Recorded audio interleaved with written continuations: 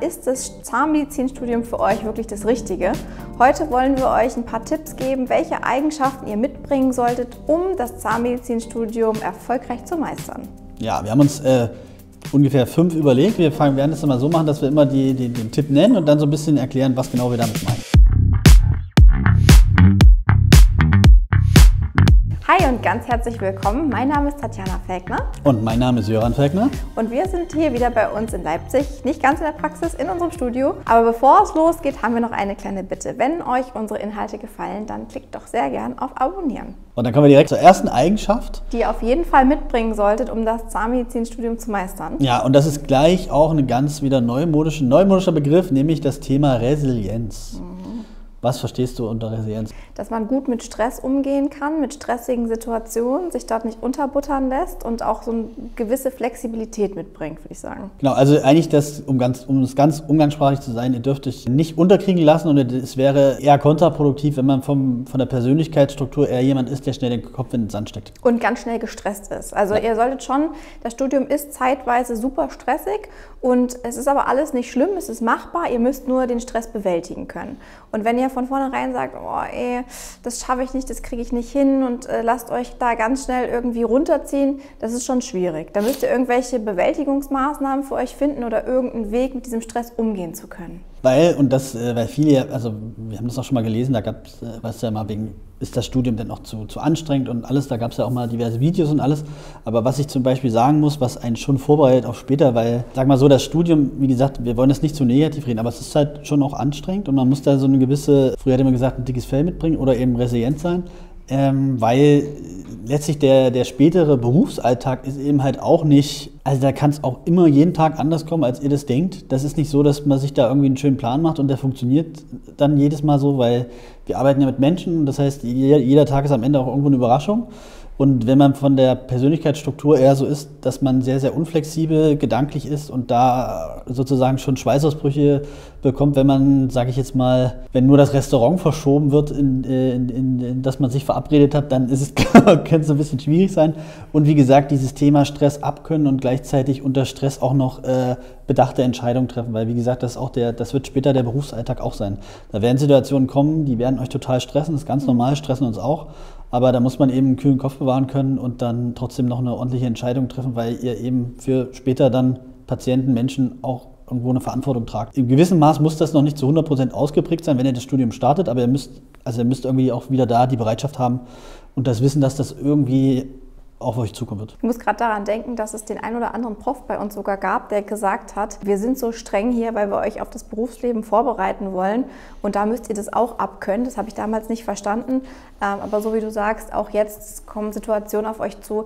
Ihr arbeitet mit Patienten, mit einem Team zusammen, also mit vielen Menschen, da kommen viele Einflussfaktoren auf euch zu und selbst wenn ihr in, sage ich mal, einer Behandlung perfekt vorbereitet seid und äh, von euch sozusagen alles stimmt. Es gibt manchmal Dinge, die könnt ihr einfach nicht beeinflussen und da muss man eine Möglichkeit haben, das irgendwie für sich zu verarbeiten. Naja, und der Punkt nochmal wegen Resilienz. Ich sag mal, bei unserem Beruf ist es halt auch so, wenn ihr jetzt, und das, damit will ich nicht den Bürojob schlecht reden oder so, aber in vielen Berufen ist es ja so, wenn man gerade, wenn es zu stressig ist, kann man sagen, hey Leute, Stopp an der Stelle, ich bin hier raus, ich muss mal kurz, mir ist das gerade zu viel. Das kannst du halt später nicht machen. Du kannst das am Patienten nicht machen ist, oder du machst es vielleicht zwei, drei Mal, aber dann werden wahrscheinlich die Patienten nicht mehr kommen, wenn man dann in der Behandlung sagt, das ist mir jetzt zu stressig, ich, ich muss, muss jetzt mal los.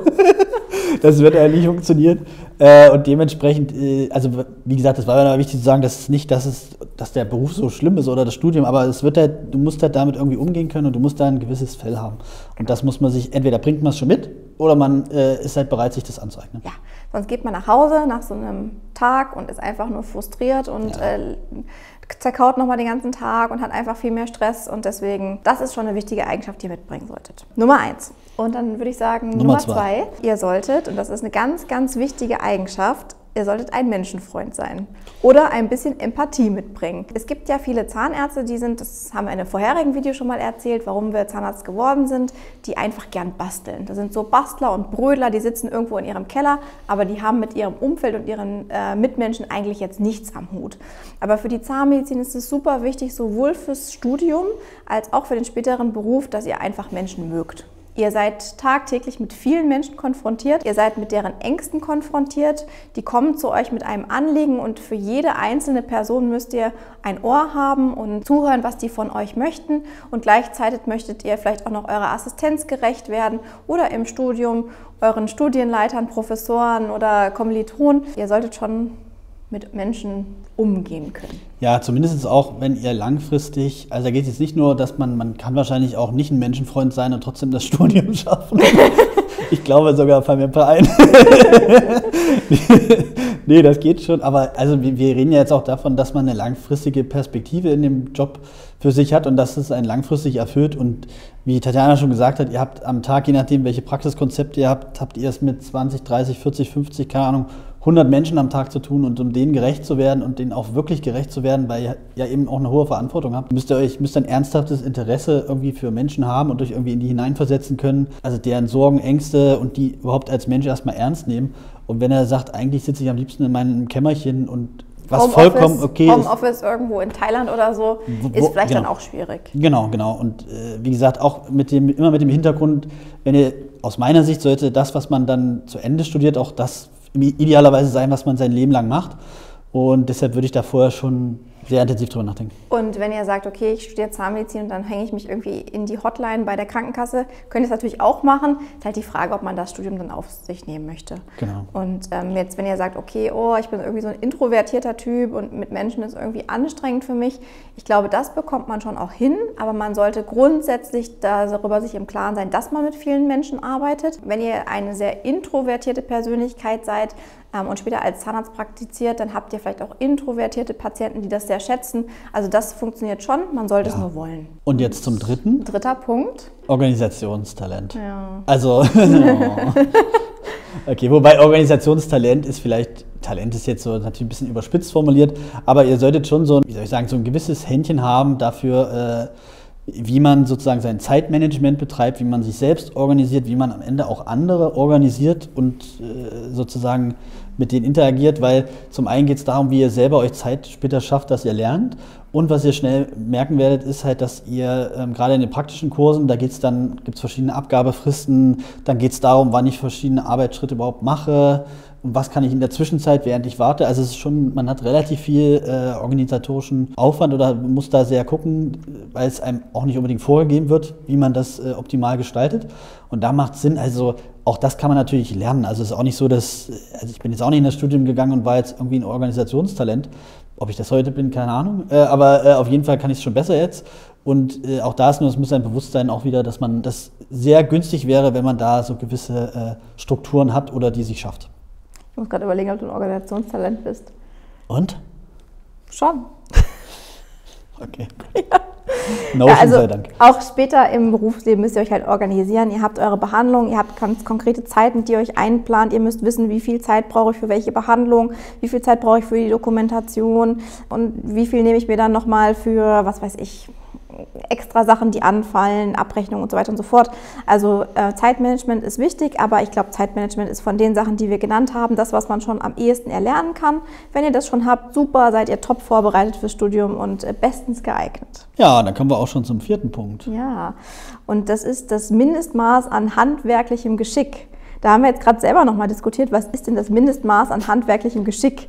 Haben, also, ich will das Beispiel nicht mehr aufbringen. Ich habe gesagt, mit Messer und Gabel essen, aber das ist es natürlich nicht. Ihr solltet irgendwie mit euren Händen umgehen können, wenn ihr sowieso gern bastelt oder was ist dir noch eingefallen? Na, mir ist jetzt, ich, äh, das ist natürlich eine sehr äh, veraltete männliche äh, Mindset, was ich da habe, aber ich habe jetzt bei Männern vor allen Dingen daran gedacht, dass man irgendwie mal wenigstens vielleicht mal ein Loch gebohrt hat und mal ein Bild aufgehangen hat. Also einfach so, so, so Basic-Sachen an handwerklichem Grund, wie soll ich sagen, Tätigkeiten wäre schon ganz cool, wenn man die mal gemacht hat, weil das Modellbau. Problem...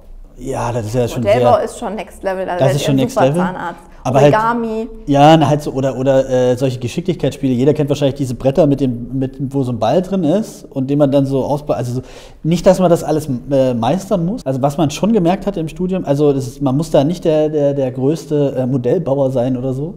Äh, aber auch das kann man lernen, aber halt nur zu einem gewissen Punkt. Also wenn, wenn ihr wirklich, sage ich jetzt mal, äh, wenn ihr schon die Krise kriegt, wenn ihr wisst, ihr müsst mal ein Loch irgendwie in eine Wand bohren und mal oder einen Nagel in die Wand schlagen, Aber ist das handwerkliches Geschick? Ein Nagel? Kriegt nicht jeder einen Nagel in die Wand?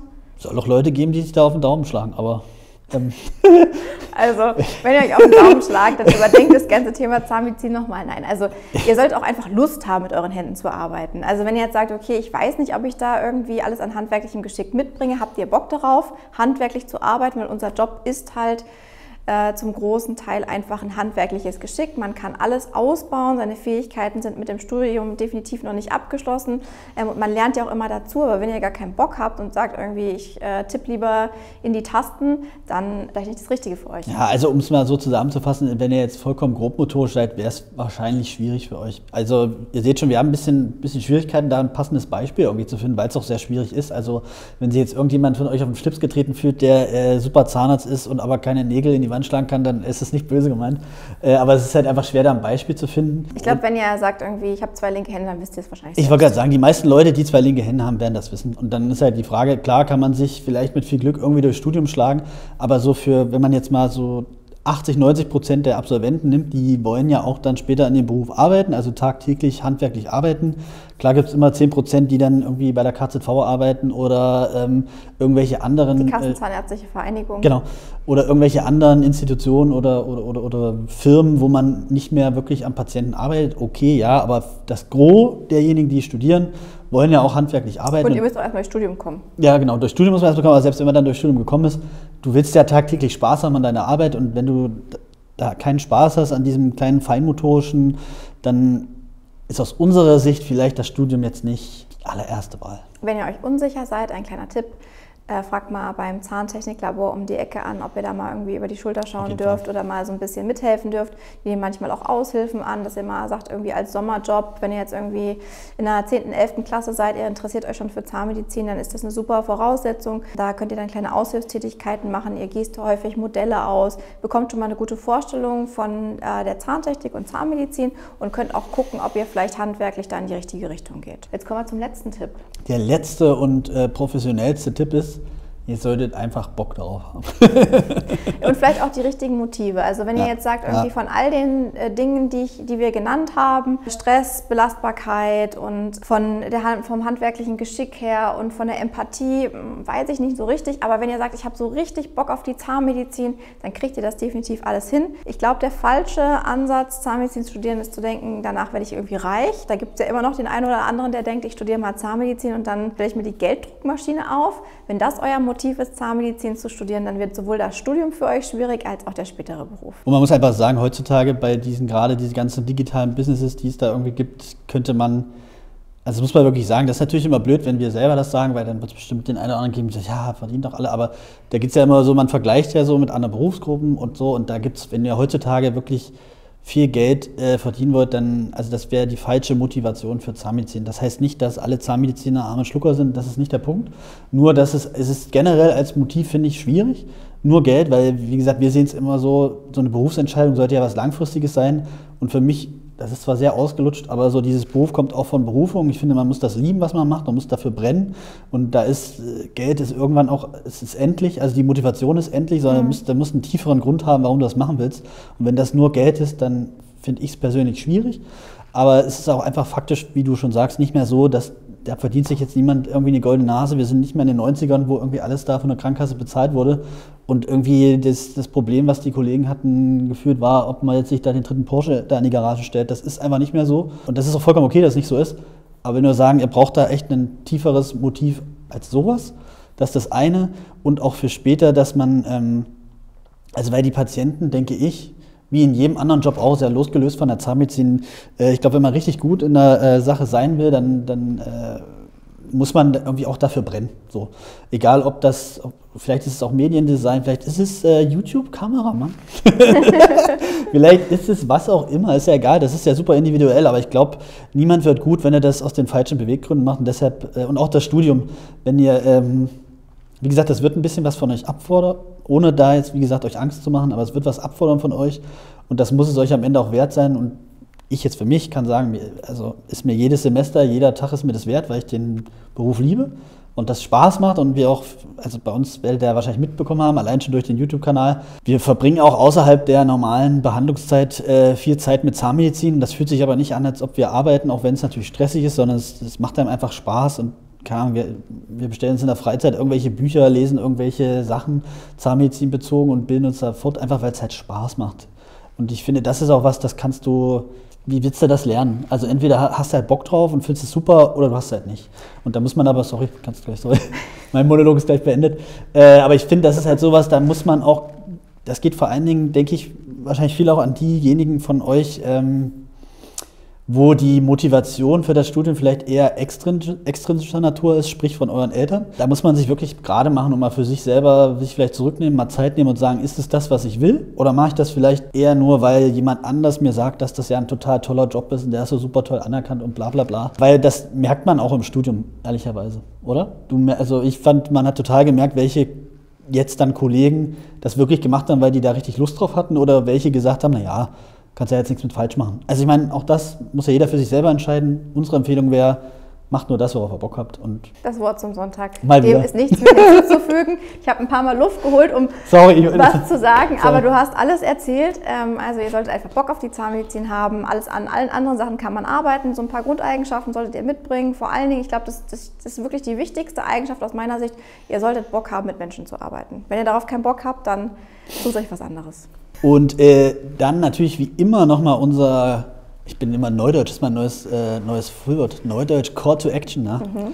Wenn ihr, wenn ihr, weil das ist natürlich ein spannendes Thema. Wir haben uns jetzt ja ein bisschen gerade gemacht äh, und so ein bisschen von unseren äh, Motiven und äh, warum wir das äh, studiert haben auch in dem vorherigen Video wahrscheinlich, was ihr dazu in dieser Reihe gesehen habt. Und natürlich ist es total spannend. Wie, also ich würde natürlich sehr gerne wissen, wie das bei euch war. Was waren eure Beweggründe? Warum oder welche Eigenschaften, die wir jetzt vielleicht nicht genannt haben, würdet ihr noch ergänzen? Oder gibt es eine Eigenschaft von den fünf, wo ihr sagt, oh, was, Habe ich gar nicht, brauche ich gar nicht. So ein Quatsch muss doch keiner sein. Oder ich habe zwei linke Hände und bin trotzdem mega Zahnarzt. Zum Beispiel. Bei der KZV. Bei der KZV, genau. Sachbearbeiter bei der KZV. Schreibt das gerne in die Kommentare. Und mir ist noch gerade eine super Idee gekommen äh, zum Thema der finanzielle Aspekt. Das können wir auch mal ein Video drüber machen, ob wir aus unserer Sicht denken, dass sich das lohnt. Oder was wir uns vielleicht vorgestellt haben und ob das da auch so bei rumkommt. Ja, also, und andere ähm, Videoideen, wir sind immer sehr offen, wenn ihr irgendwas gern wissen wollt zum Thema Studium, Assistenzzeit, Beruf, keine Ahnung. Schreibt es in die Kommentare und äh, ich würde sagen, dann bis, bis zum, nächsten Mal. Mal. Ciao.